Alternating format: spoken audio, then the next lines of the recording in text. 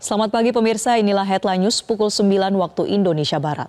Longsor susulan tebing batu setinggi 15 meter kembali terjadi di jalur Trans Sulawesi Kecamatan Malawa, Kabupaten Maros, Sulawesi Selatan pada Sabtu sore.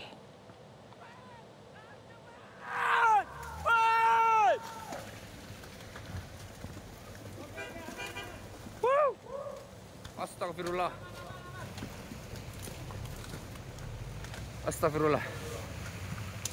Pemirsa inilah video amatir yang direkam personil kepolisian sektor Malawa di mana terlihat detik-detik terjadinya longsor susulan dari tebing setinggi 15 meter di jalur Trans Sulawesi, Dusun Tompo Ladang, Desa Pada Elo, Kecamatan Malawa, Kabupaten Maros, Sulawesi Selatan yang terjadi Sabtu sore. Hujan dengan intensitas tinggi terus mengguyur wilayah ini hingga menyebabkan longsor susulan terjadi di beberapa titik.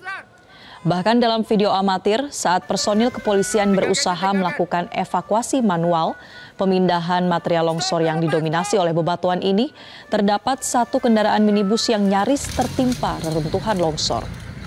Guna mengantisipasi adanya korban tanah longsor susulan dari pengendara yang melintas, personil kepolisian dari sektor Malawa terus berjaga melakukan pengamanan dan pembukaan jalur buka tutup dari arah Maros dan sebaliknya.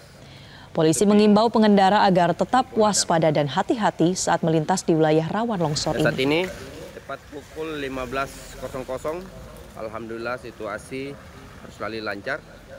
Namun Jelajahi cara baru mendapatkan informasi. Download Metro TV Extend sekarang.